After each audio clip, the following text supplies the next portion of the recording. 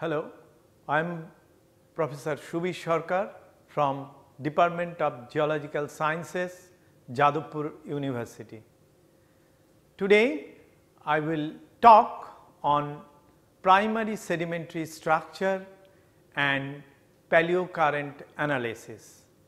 Both these two aspects are very vital to understand the sedimentary milieu of a sedimentary rocks. So, I should start with primary sedimentary structure and then I will switch on to paleocurrent analysis in the second part of my lecture. So, primary sedimentary structure are formed during or immediately after sedimentation, but must have been formed prior to lithification. The structure in sediment piles are diverse in origin and form in different timings with respect to sedimentation. As this structure formed during sedimentation, they bear the signature of dynamic processes involved in sedimentation. Based on flow dynamics, this structure can be subdivided into depositional and erosional. Besides, there are biogenic and soft sediment deformation structure which are also considered as primary sedimentary structure. Organically influenced structure record the organism substratum interaction history. Soft sediment deformation structure on the other hand encompasses all the deformation structure formed during or after deposition. These Syn sedimentary deformation structures include those formed during sedimentation reflect the then substratum condition. Other form close to but after sedimentation is called penecontemporaneous or metadepositional deformation structure. Usually the primary sedimentary structure do not uh, have any depositional bias although there are very few structure which are restricted to particular depositional environment. As for example, desiccation cracks, rootlet marks and structure associated with evaporites are significant example in this respect. Primary structure bears signature of flow dynamic processes involved in sedimentation which can be shared by different depositional environment. Bed is the most fundamental primary structure because it represents individual flow and beds are the basic building blocks of uh, sedimentary succession. On the other hand, lamina are the building blocks of beds which represent fluctuation within a flow. It is a sedimentation continuum delimited below and above by omission surfaces either erosional or non-depositional in nature beds are generally tabular or lenticular in geometry and has lithologic, textural and structural unity that clearly distinguishes them from the layers above and below it. Bounding surface of a bed are known as bedding plane. They represent either erosion or non-deposition or abrupt change in depositional condition. Bedding planes can be of various types planar, wavy or curved. Groups of similar beds or cross beds uh, are called bed set or set. A simple bed set consists of two or more superimposed bed characterized by similar composition of texture and internal structure. A group of two or more set is called coset.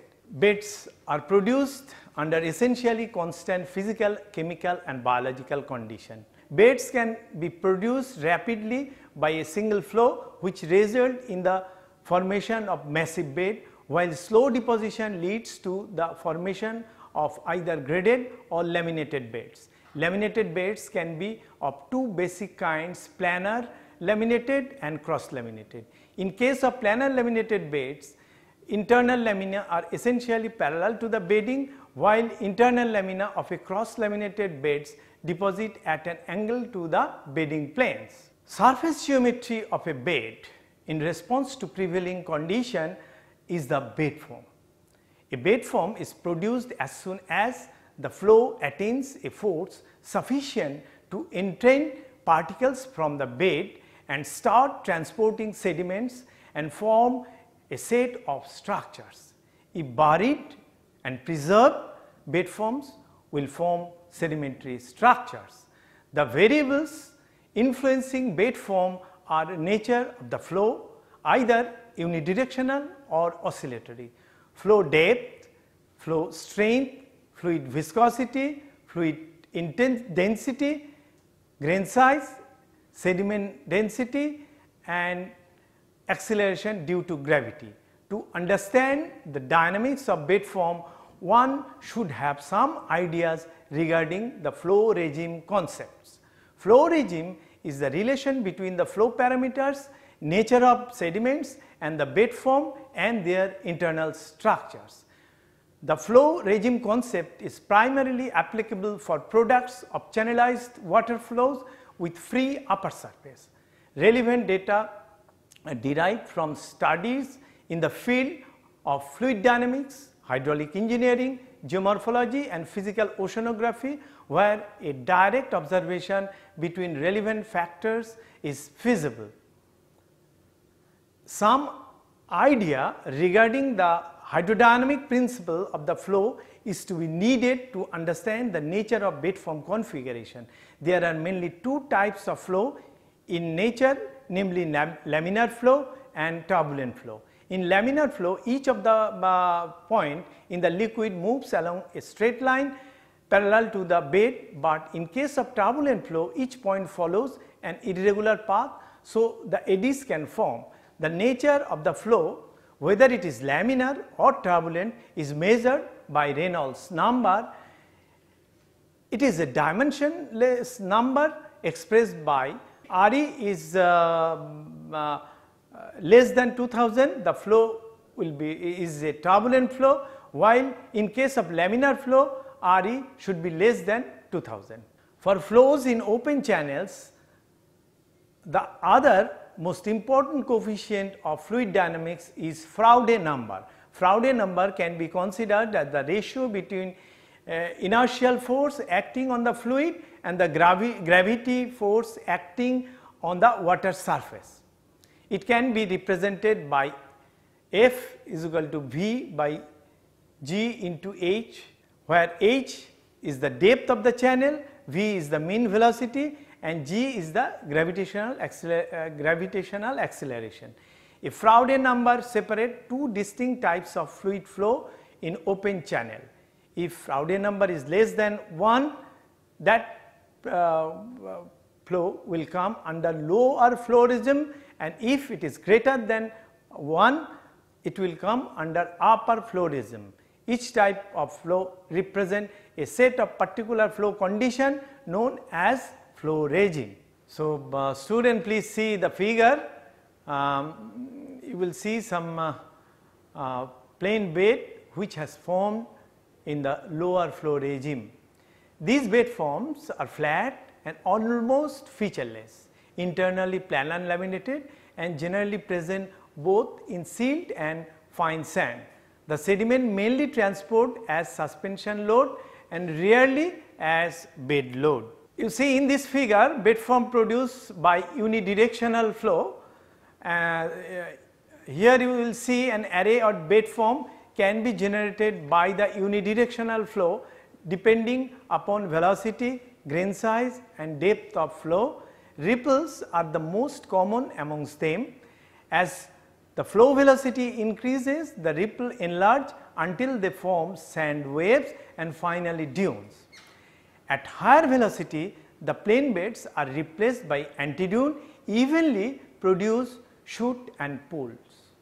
As I mentioned earlier, ripples are very common primary structure. There are two types of ripples, for example, current ripple and wave ripples. Current ripples are the commonest bed form uh, encountered within the lower flow regime unidirectional flow condition. Student, now you see the photograph, uh, they are dominantly formed by the bed load movement. they are asymmetric with a steeper downstream facing lee side and a gentle upstream facing stoss side. Mostly they erode the upstream side that is stoss side and accrete on the downstream side that is the lee side.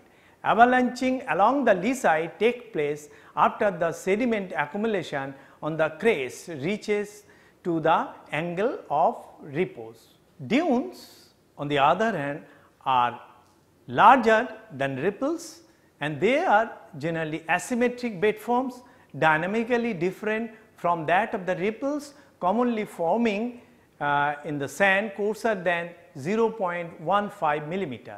They are larger bed forms with wavelength more than 1 meter or more and heights of several tens of centimeter.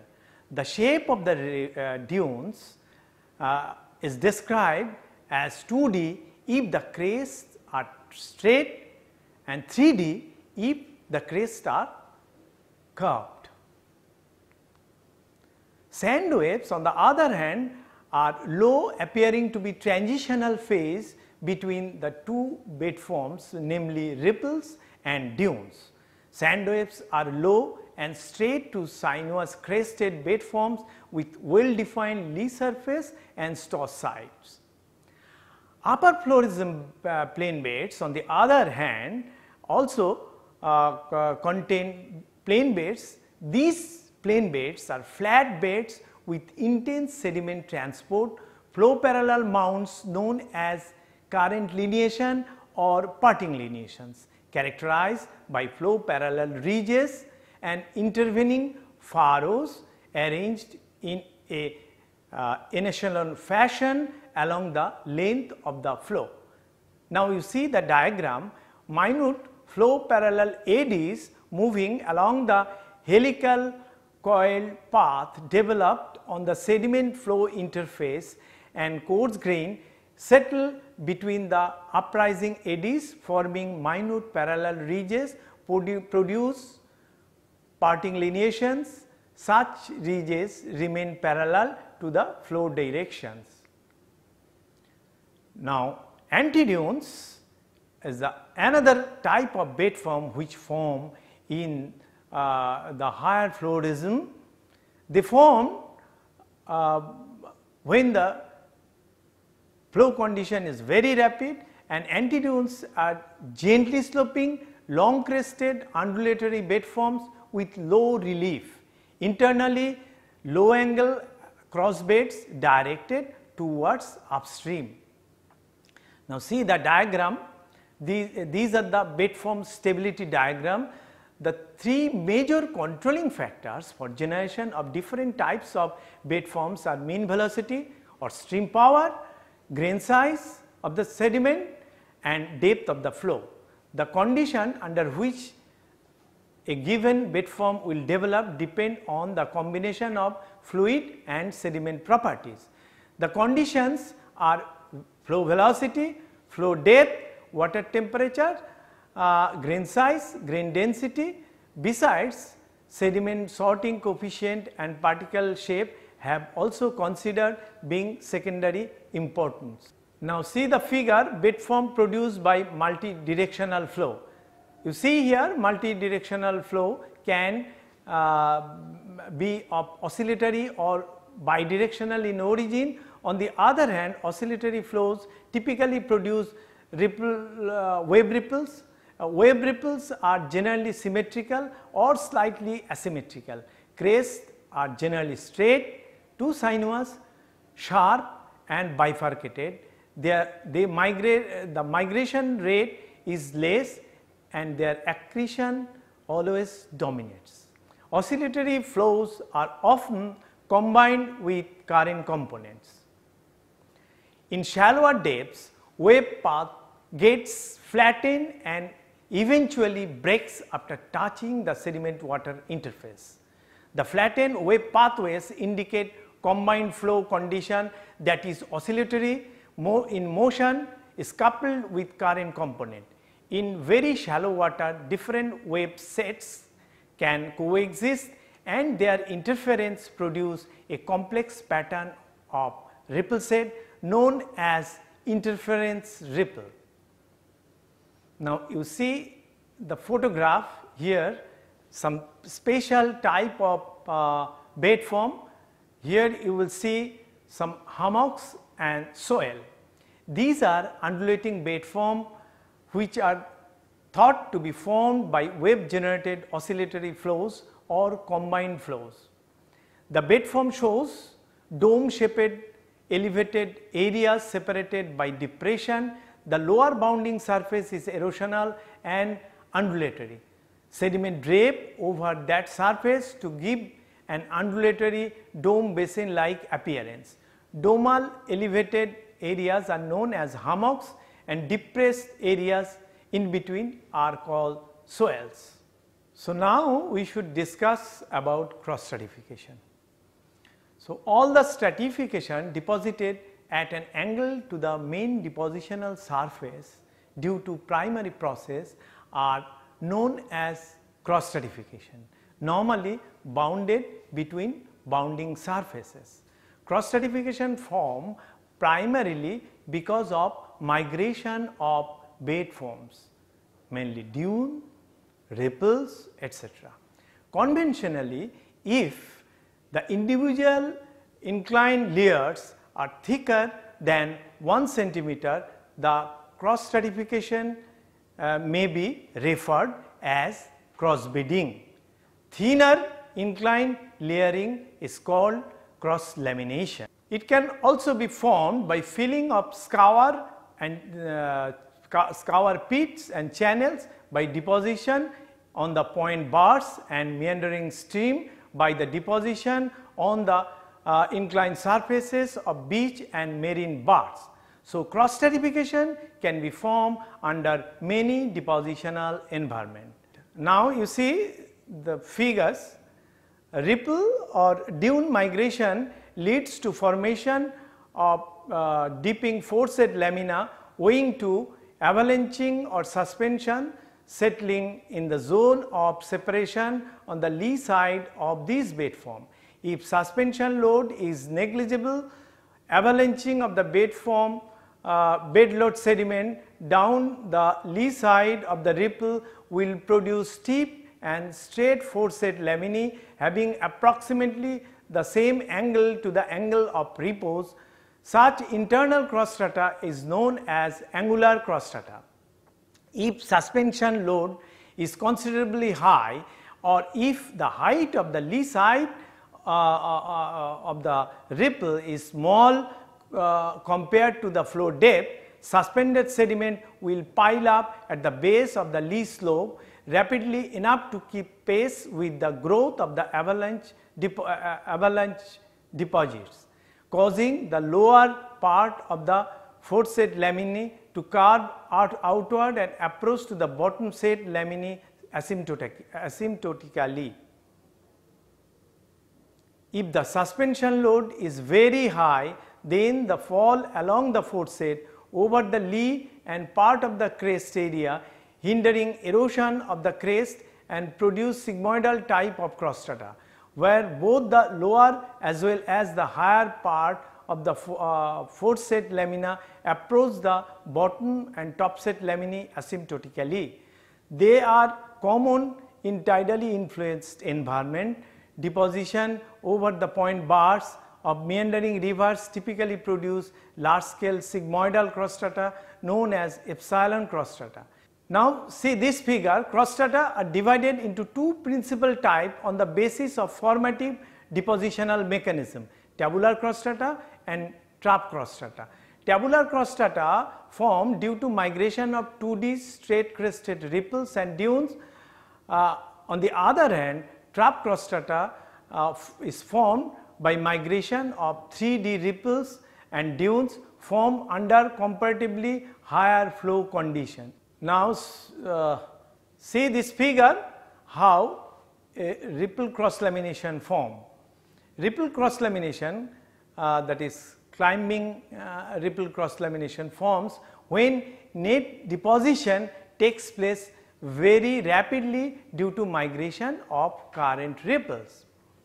During aggradation ripple climb one uh, on another in such a manner that the crest of vertically succeeding lamina are out of phase and appear to be avalanching upslope.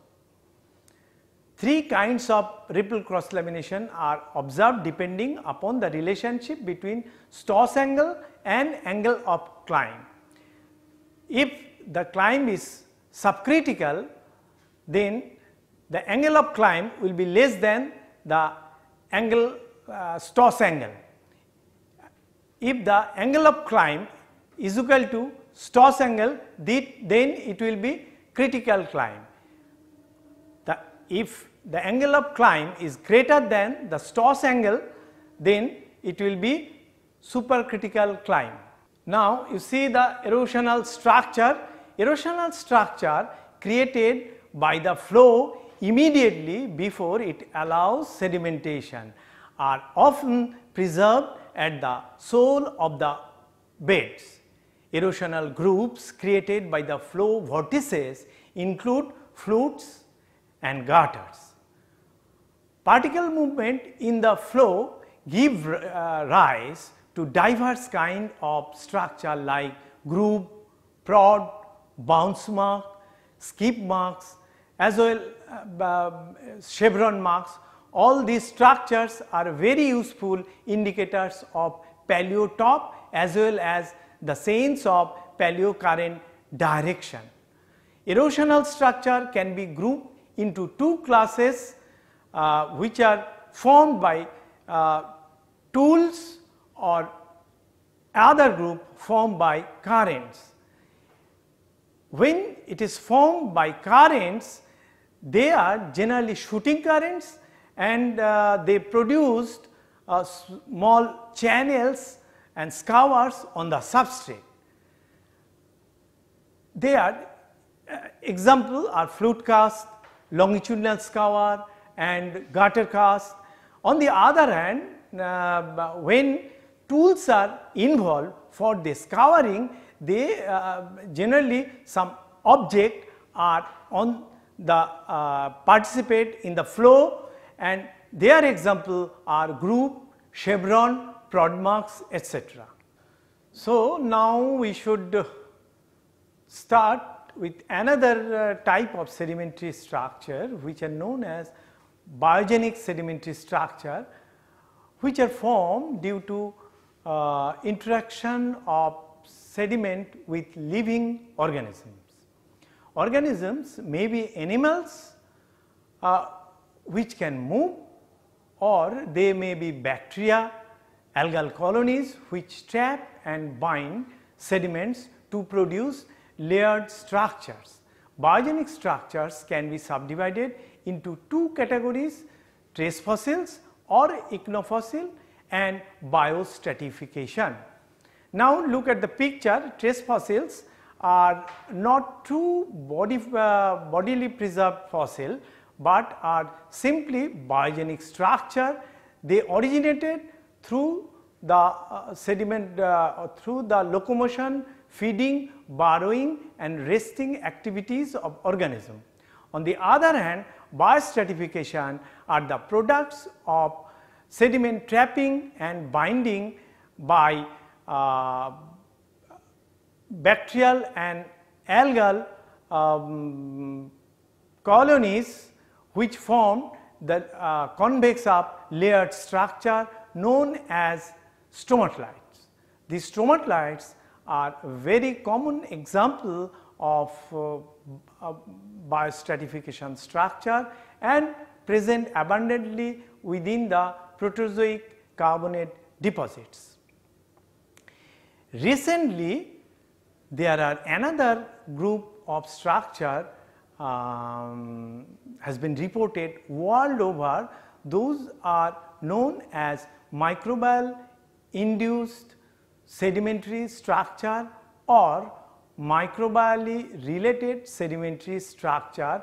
Those have been reported from siliciclastic uh, sedimentary rock all over the world. The other type of sedimentary structure are soft sediment deformation structure include structure formed by the deformation during deposition. as well as the structure which are formed immediate after deposition but prior to lithification. The deformation structure produced during uh, deposition are known as sedimentary deformation structure and the structure which are formed immediately after deposition but prior lithification are known as penecontemporaneous or metadepositional deformation structure. Deformation producing this structure can be triggered by some external cause like seismic jerk uh, or internal cause like overpressuring due to quick dumping. If triggered by external cause, the structure usually found to be restricted within a single sedimentation unit with lateral extension. Now, you see the figure genetically this uh, soft sediment deformation structure are of following vari varieties. Gravitational this instability uh, structure produced because of gravitational instability.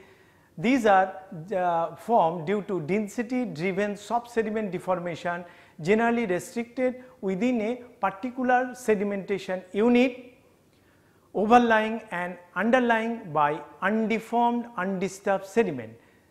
Example of this sort of uh, structure are convolute, load structure, ball and pillow structure, flame structure, the structure which are formed by downslope movement are slump, growth faults. Because of fluid flow, some structure also produced uh, as for example overturn crossbedding. Fluidization and liquefaction are the two important process for soft sediment deformation. These two processes actually facilitated all kinds of soft sediment deformation structure to form by reducing the cohesion amongst the grains. So, now we shift to another uh, chapter which are related to this primary structure uh, and how we can utilize this primary structure for interpreting depositional environment. Truly speaking, just direct correlation of uh, primary structure with the depositional environment is often ends with dissatisfaction. An attempt can be made to evaluate the potential primary sedimentary structure as indicators in broad terms. Frequent occurrence of wave structure in a sedimentary body most certainly indicate deposition in a wave agitated environment. It may be shallow marine or lake. In a lake, tide without synchronization with open ocean tide has amplitude only up to a few centimeters. No tidal bed form is thus expected in lacustrine deposits. However, the most convincing proof of tidal action is derived from the demonstration of laminar thickness variation in periodicities corresponding to those of tides. Now, you see uh, the structure, uh, the figures, there are some figure, one is herringbone cross strata, sigmoids, thick thin lamina alternations, mud drapes, mud, uh, double mud drapes layer, cyclic variation in foreset geometry. These features are very much helpful for tidal influence uh, sedimentary environment. As grain flow uh, process operate more frequently, inverse graded dunes cross strata are far more common in aeolian deposits. Common occurrence of regular alternations between grain flow and grain fall strata, translatent strata or ripple climbing adhesion ripple lamina can be very good uh, criteria for identifying uh, uh, aeolian deposit. Wind ripple character characteristically have very low amplitude but wide wavelength. Another part of my lecture that is paleocurrent analysis. Now most of the crossbedding except some accretionary form are reliable paleocurrent indicators. The paleocurrent analysis is an important tool for basin analysis study. It gives the direction of the flow which was responsible for generation of the structure. The true dip of the foreset plane reconstructed from two orthogonal section is used for determining the paleocurrent. In case of trough cross stratification, the bedding plane expression or the traces of the trough on the bedding planes are very useful for measuring paleocurrent direction. The acute bisectors of the two tangents drawn on the two arms of the traces of the troughs give the reliable paleocurrent direction. The lee of the ripple slope also a good indicator of current direction. Besides some erosional structure for example flute cast are also useful indicator of paleo flow direction. Consistency of a current depends upon the steadiness of the flow. Long term consistency of paleocurrent indicates stability of the current system in tectonically unstable setting long term uh, stability of paleocurrent is not expected. Paleocurrent may be unidirectional, uh, uh, unimodal, bimodal, bipolar or polymodal. Unimodal paleocurrent is expected in fluvial depositional environment. Bipolarity and bimodality are common in marine deposit. Tidal deposit generally show this pattern though unimodal records are not uncommon from tidal deposit. Deposits of wave can also produce bipolar paleocurrent. Aeolian paleocurrent is generally polymodal in nature. As mentioned, fluvial uh, paleocurrent pattern is likely to be unimodal. But degree of consistency of the paleocurrent also varies between meandering rivers, braided rivers and straight channels. The relation between paleocurrent direction and dip of the uh, depositional substrate is important for regional interpretation. Fluvial cross strata generally have a mean direction towards dip of the depositional substrate. However, Aeolian crossbedding does not have any relation to paleo slope.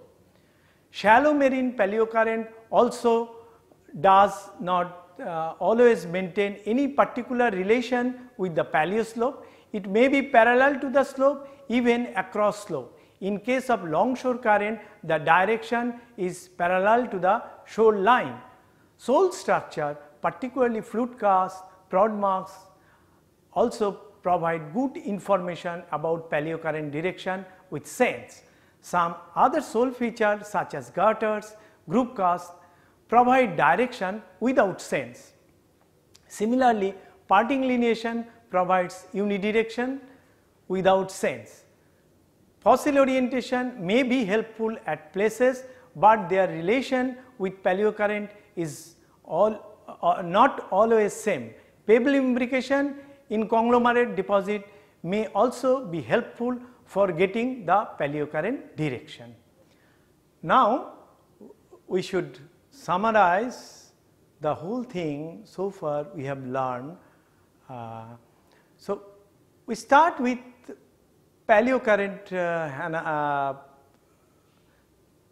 we, we start with uh, different types of sedimentary structure and we have learned varieties of sedimentary structure and these structures are uh, present in different hydrodynamic uh, different uh, depositional environment and this structure can be shared by different depositional environment as well. But so it is not very uh, wise to interpret uh, the depositional environment from the from a particular uh, uh particular primary sedimentary structure, but we, if we consider uh, different structure as a whole, we can uh, identify a paleo environment as well. And uh, also we have learned that the paleo current is very helpful for basin evolution study and uh, from different from different uh, primary structure we can identify the paleocurrent direction and that ultimate we can plot in a simple Rose diagram and we can conclude about the, the then current direction which were responsible for formation of the uh, of the primary structure. Thank you.